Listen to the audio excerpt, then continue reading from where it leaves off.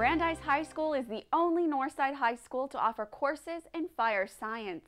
The Career and Technology Education program is in its third year, and as it has grown, so have the opportunities for students. Though they're not dealing with actual fires, students are getting valuable exposure to equipment, training, and career possibilities. Very good, very good. When they're decked out in full fire gear, it's hard to tell that they're high school students. But it's just another day of training for the Brandeis Fire Science class. The course is an inside look at a profession that can be stressful and dangerous, but also a rewarding way to serve the community and potentially save lives. Fire Science takes up two class periods and is offered as a career and technology credit.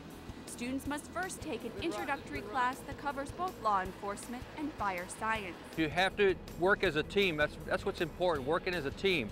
Instructor Joel Trevino, himself a police and fire department veteran, schedules regular training drills both on campus and with the Helotes Fire Department. They come over here, we do drills here.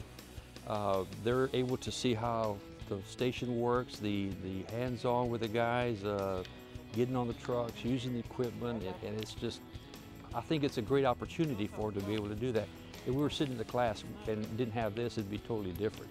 I mean, they wouldn't be able to get that real feel of what they're going to be doing out in the field. There's things you got to go under, go over, go through. With their eyes covered to simulate a smoky environment, students must rescue a fallen comrade. To succeed, they'll have to communicate with their partners, make quick decisions, and deal with obstacles. Stay low, guys. Training we do, like today we're doing search and rescue, we're just getting familiar with uh, simulations and real life things that could happen and so we're just being familiarized with all the different things that could happen in the real career. Students appreciate the professionals who take time to show them the ropes and serve as additional teachers. It's an awesome way to kind of get that more real life experience because they're actually doing what we want to do and they're kind of our heroes. So it's really a blessing to have them do this stuff for us. Y'all got really lucky hitting the right line. It's a great partnership uh, I think and we hope that many of these will go into a career uh, in the fire service and, and it's not only uh, a benefit to them, it's, a, it's an excellent opportunity for our guys. They really enjoy working with these students. When they're not out at area fire departments, the training continues at Brandeis. The school purchased an old Shavano Park fire truck in December it adds an extra dose of realism and added weight for hose drills. I learned that it is important to have teamwork between you and your partner because you you can't do this job by yourself. You always have to have other people helping you, encouraging you to keep on going. Because as today, I had that water, all that weight on my shoulder, trying to go up that narrow staircase it was I couldn't have done that on my own. So I'm really grateful I have somebody there to help me out.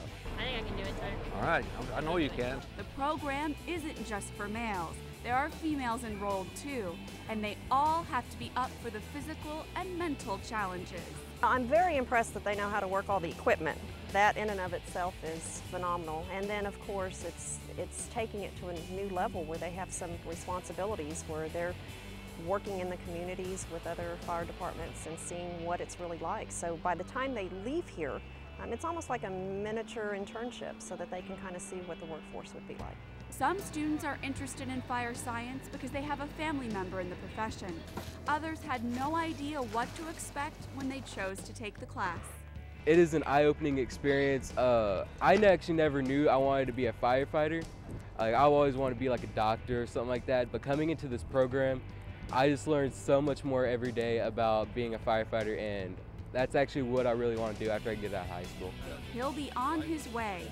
With the experience and technical skills these students get in high school, they're ahead of the curve and ready to pursue college and careers in fire science.